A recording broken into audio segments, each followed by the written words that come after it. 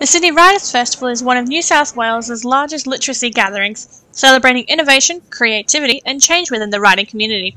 Press Freedom, one of the sold out panel events, explored the changing environment journalists and the media must face today. The press is the voice for the vulnerable, and sometimes they're the only voice for the vulnerable.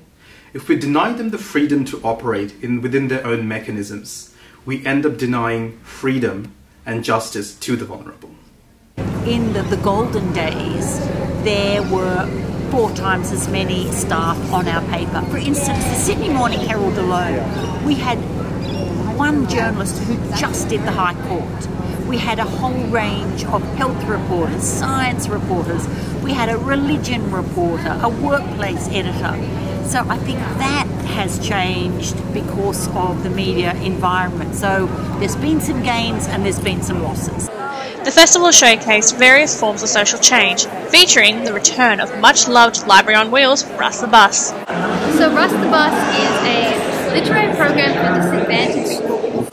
And uh, what they do is basically they go around to different schools, they host author um, talkings and events um.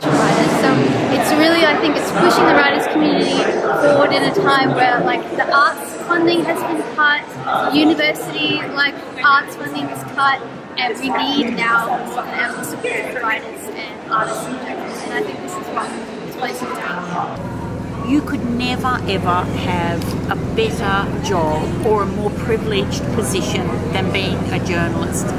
It is seriously the best thing that you could ever do. It's tough and it's demanding, but where can you have a job that you can actually change society for the better, that you can expose wrongdoings, that you can do those things? And I just think, you know, that's something that I'm grateful for every day.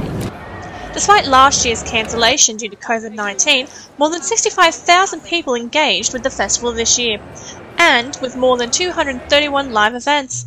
It also featured more than 400 Australian based speakers.